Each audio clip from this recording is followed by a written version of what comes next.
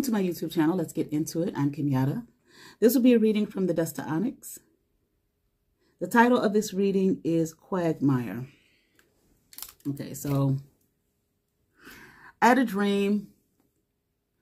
Uh, and in the dream, I was in this church, okay, the church that I grew up in, a church my great grandfather founded. Okay. However, I was with my grandmother in the dream, which was interesting because I used to go to church with her and it wasn't that church. But nevertheless, I was sitting next to her and I was in the choir. Okay. We had on gray robes with black, like the cuffs were lined black, the collar was lined black. We sang and sat down. And I was even thinking like, why the hell am I in the choir? Which I don't think I have shit to do with, with the dream. Nothing necessarily. Because I wasn't one to sing in a choir in church. I would try. Okay. But I just, I just didn't like it. I liked, you know, being in, I don't, I hate to call it the audience, but I liked sitting in the congregation, not being up in the choir stand. But anyway, um, and I damn sure wouldn't sang in the choir at that church. Okay. My grandmother's church was much more, uh, it was bigger, much, much bigger. Okay. Um, just more progressive. Just, you know, it was just like the place to be. Okay. On Sunday morning, the church that, uh, my great grandfather's church, not at all. The little small little teen tiny church. Okay. Um, very, very old. Okay. In more ways than one. And, uh, I, I didn't like it there. Okay but that's where we were. But I was okay. I was I had a, a attitude and spirit of being pleased because I'm, I was sitting next to my grandmother. Okay, and um, I felt like I knew I was safe because I was with her. The church was a little evil little place. okay, and it was some very nice people there. Don't misunderstand.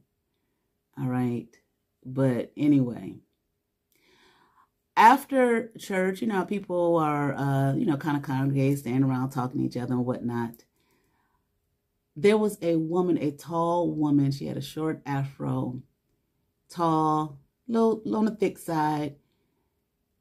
And I never saw her face, but I had, I knew who she was. Okay. One of the members, you know, that I knew that went there. And then she doesn't look at all like I saw her in the dream, but it was her. And she was holding a baby, cutest little thing. And I remember I looked at the baby, and the baby was just like dancing in her arms. But I thought it was strange because the baby was an infant. Okay, they can't even, you know, uh, like like fresh, freshly born. Okay, babies at that point, you know, aren't even able to hold up their head. Head. Hell, nowadays, these babies coming out doing all type of shit almost immediately. Like when I was born, my mom, a lady who raised me told me that, you know, uh, our eyes would be closed. These babies come out now, eyes wide open, you know. But anyway, um, but I thought it was so strange. Baby was smiling and laughing and dancing around, but you could tell it was just born. And it was weird because it was like some, when I looked at the baby and I thought to myself, that's strange. That baby was just just got here. It's like the baby could hear my thoughts. And the baby looked at me and went back into the, you know, the quote unquote infant stage of what infants, you know, where they should be at okay, in terms of its physical self, etc., etc. Okay, stop dancing, in other words. Smile wiped off his face, okay? And someone was asking her about the baby, and she said the baby's name was Quagmire. That she named the child Quagmire, and I thought to myself, what in the hell? Who would name their? Why the fuck would she name that child Quagmire? But then at the same time, it sounded so familiar to me. So we're going to find out what that's all about now. Of course, I looked up Quagmire. Okay. Webster's dictionary here. Now, this is the Merriam-Webster's, okay? It's one of the modern ones. Okay, not the old, old dictionary with the real meanings. Copyright 2016. Quagmire.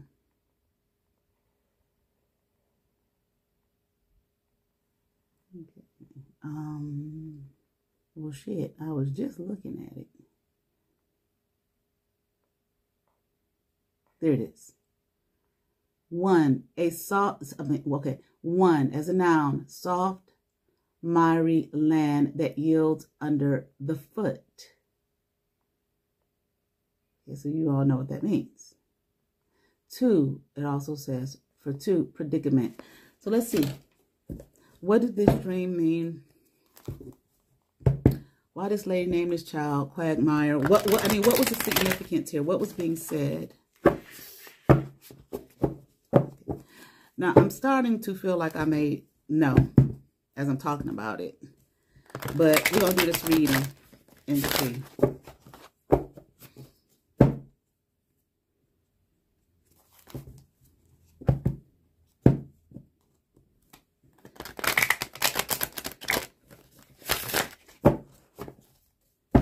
From the dust to onyx.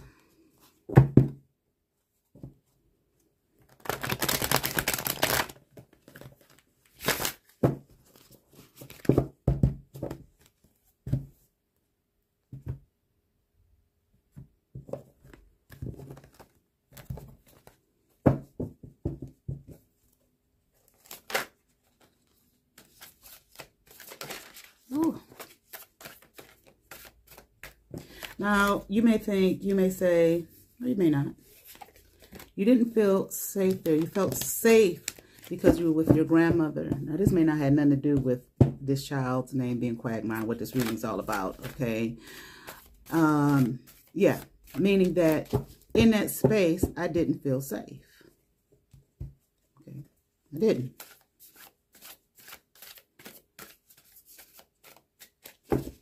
Some mean, hateful folks and energies in that building.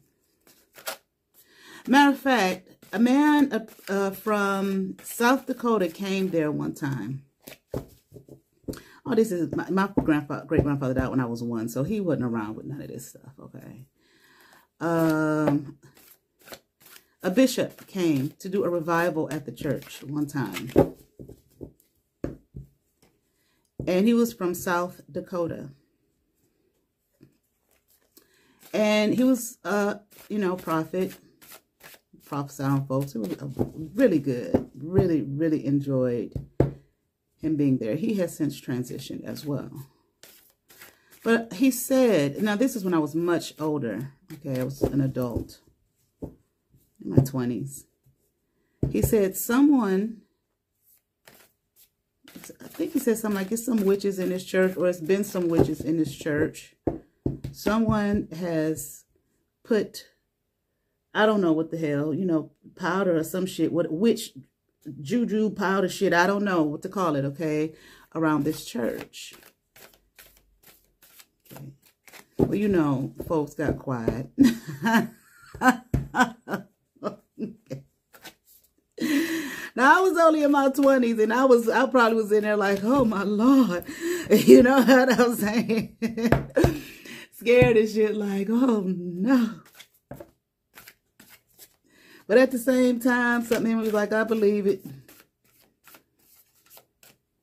You know, I was kind of like, didn't want to believe anything negative about uh, that space, that church, because it's my great-grandfather's church, regardless of what I saw. But I was young at the same time. I mean, I know I didn't like it there.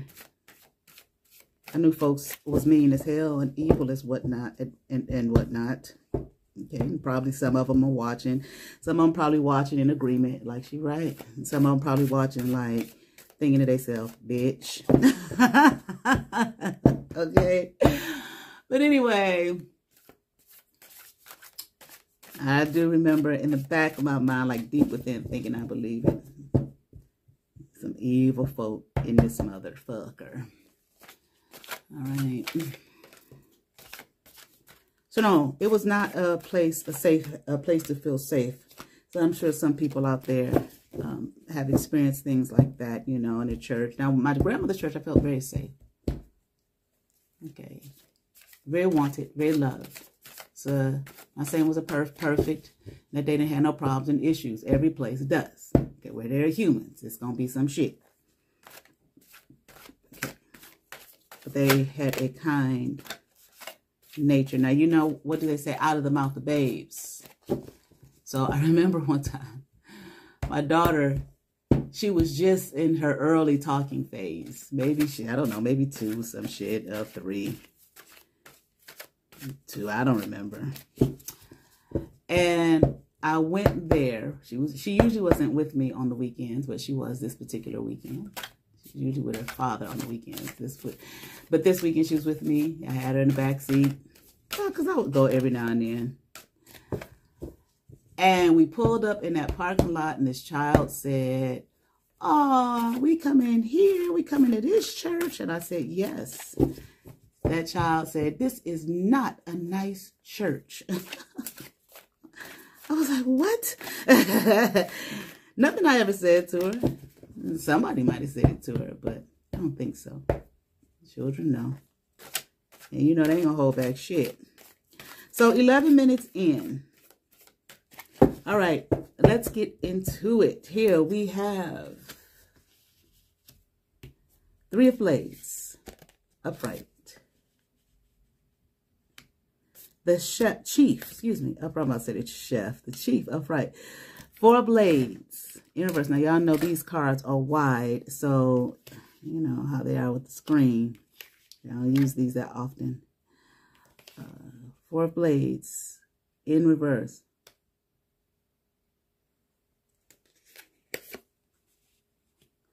Ace of blades upright. And here we have five of staffs in reverse.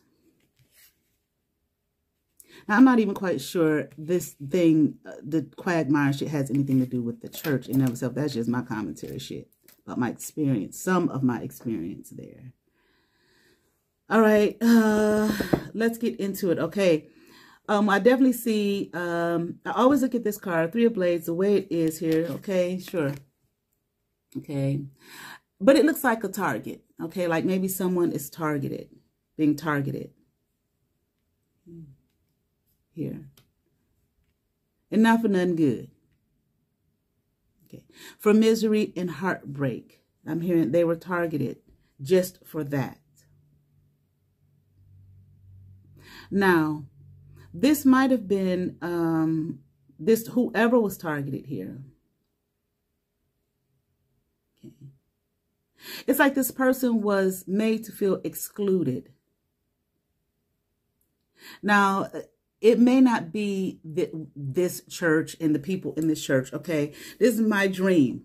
Okay, that my my dream, my experience. Okay, where you know my life. Okay, so the that particular church could have been used in the dream for a variety of reasons for you know for a number of reasons one thing that's coming to my mind is the possibility because because the church was so small Okay.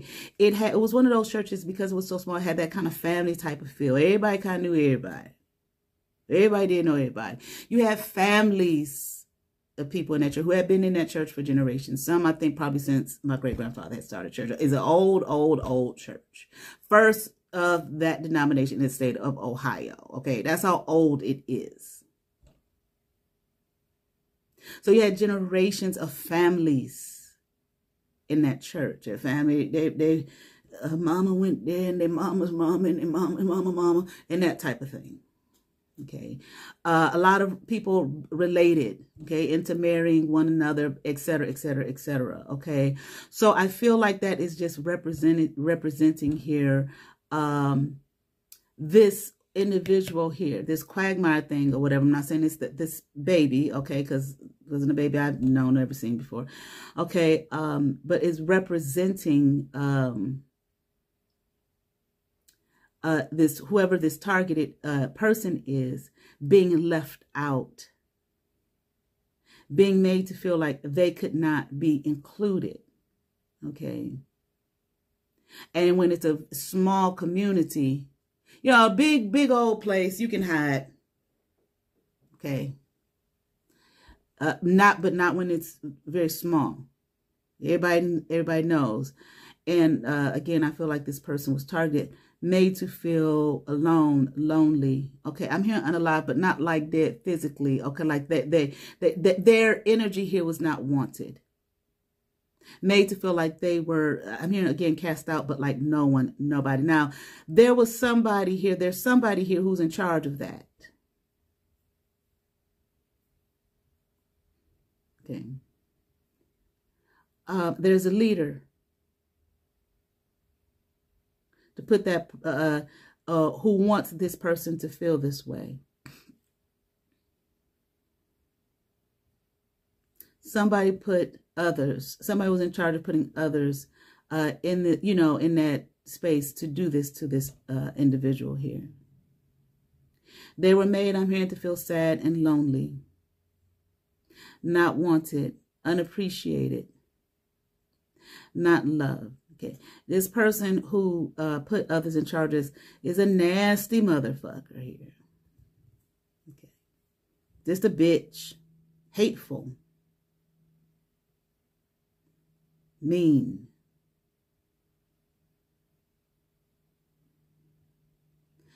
And I feel like, um, hold on.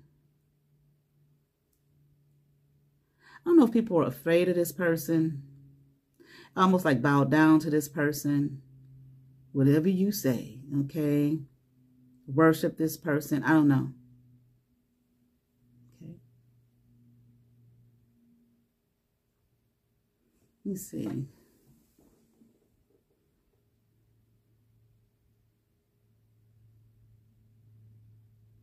I'm hearing about something about they were uncomfortable. So maybe they were scared of this person. I'm hearing very.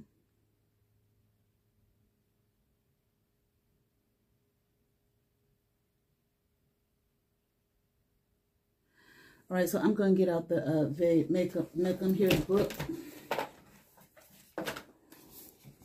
Help me out a little bit.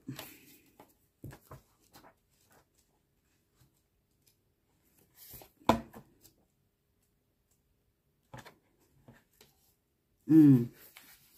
okay. This person here, once again, they wanted this person to, uh, again, feel uh, like cast out, okay, this person probably withdrew themselves. You know, maybe isolated. Well, they were isolated, okay, so withdrew themselves.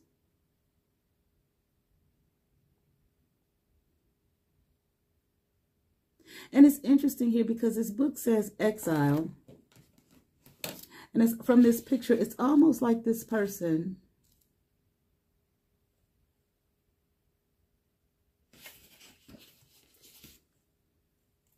Hold on.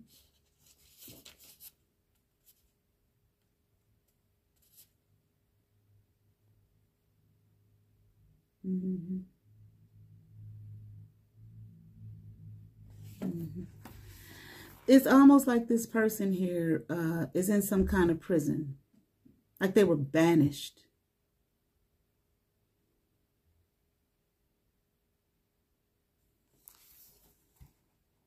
When you look at it, the way it looks. I showed the picture.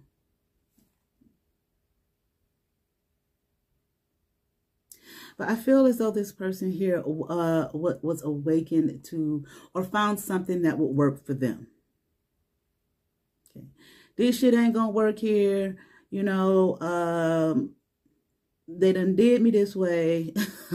you understand what I'm saying? uh, I'm I, like I said, that feeling uncomfortable. Okay, and like I said, I don't know. I didn't know if the people here that were uncomfortable or the person that was targeted. I'm hearing both. Okay. So they said, you know, I feel like, fuck it, you know, I'll find something new, something that works for me. Which I feel was like they didn't expect.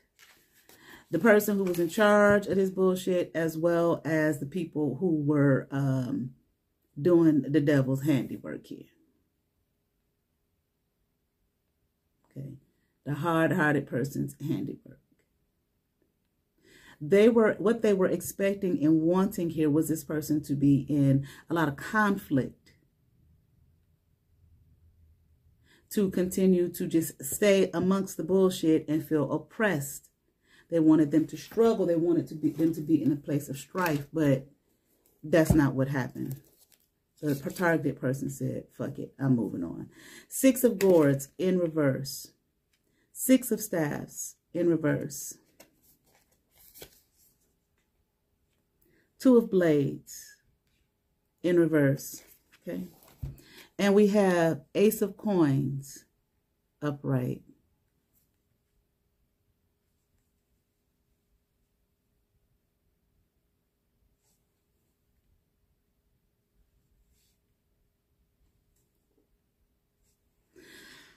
okay.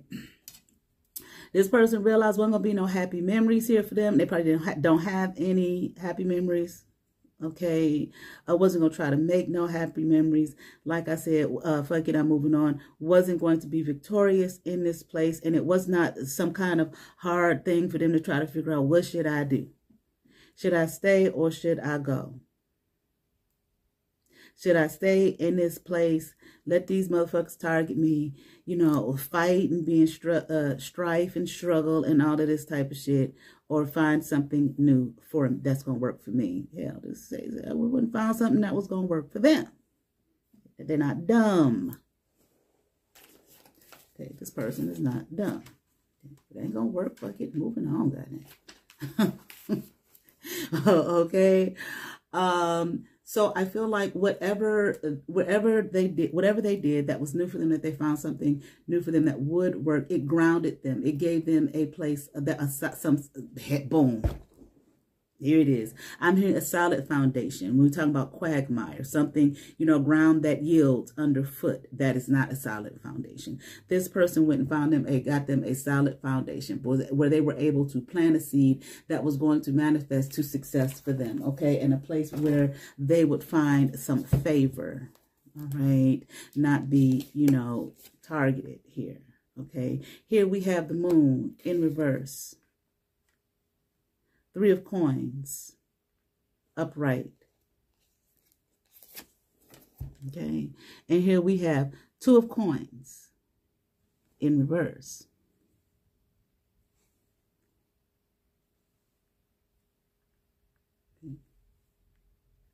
I feel like, uh, hmm, let me see. Of course, the moon here in reverse. Let me see, let me see, let me see.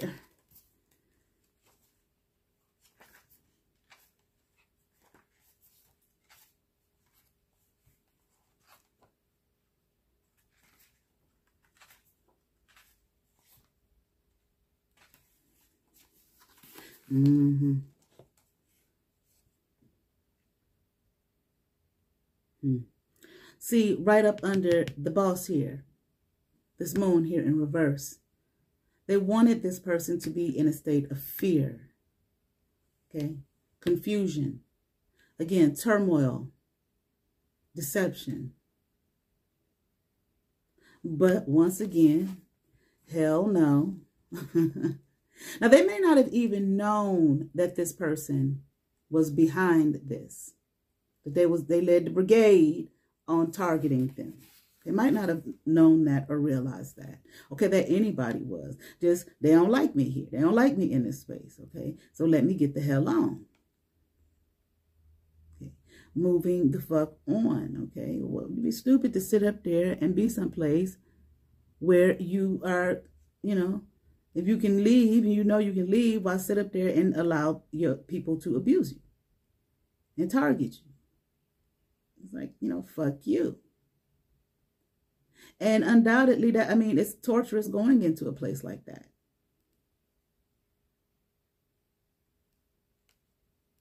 Okay. So once again, this person went and, and did their due diligence and found a place, okay, that would work for them with others, people of like minds.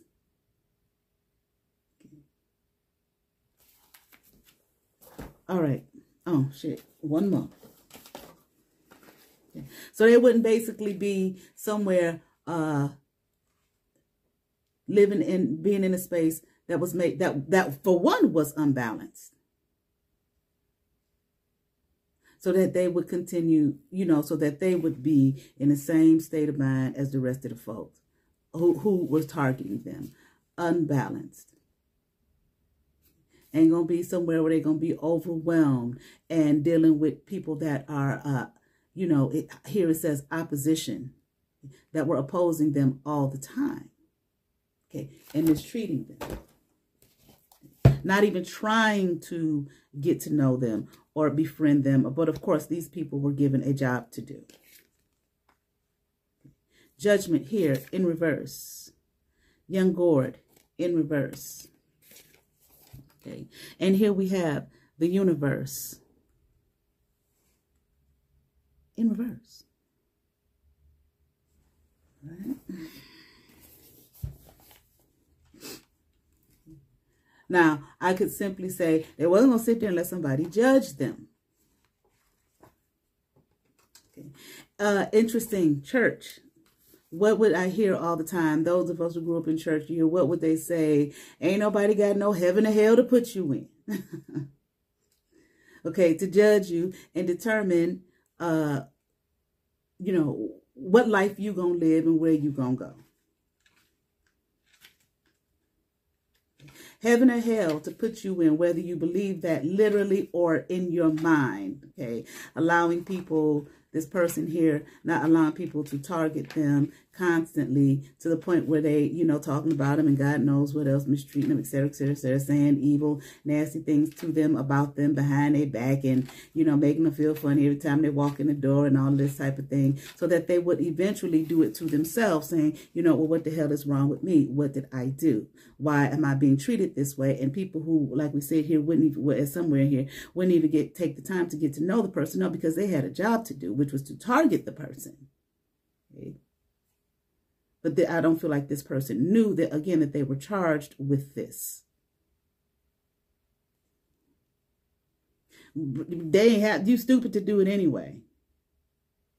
Because what you do to others is going to be done to you eventually.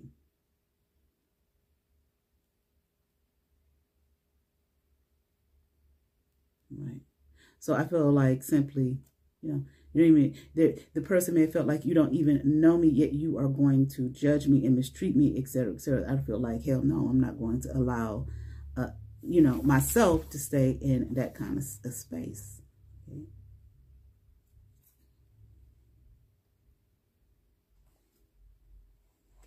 This person, I feel like, was not um, immature uh, by by now, I don't want to say immature by staying, but immature by whatever this uh, person who was leading this charge here wanted them to do to become, you know, volatile and fighting and all of that kind of stuff with the rest of the crew that they were sending after them. This person did not do that. See, the plan looked like it backfired on this person. They said, hell no. Okay. All right. Um, and I feel like they wanted to just put them in some kind of dark space to turn them into something that they weren't. A ruthless motherfucker, okay? Insincere, okay? Fickle, volatile, immature, okay? Again, this person said no.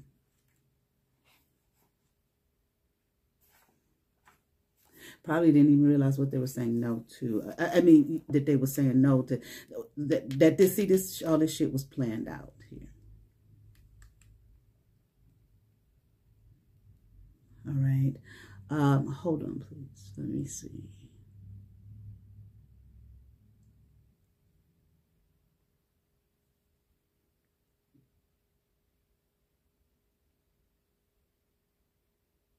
I feel like what had been started on this person is complete in them. But the can now is open, okay, on those who did the that work to this person. What they had set out to do to this person, target this person, okay, um, is now being done to them. I'm hearing for you, it is complete. They will no longer target you. They will no longer come after you. They will no longer bother you.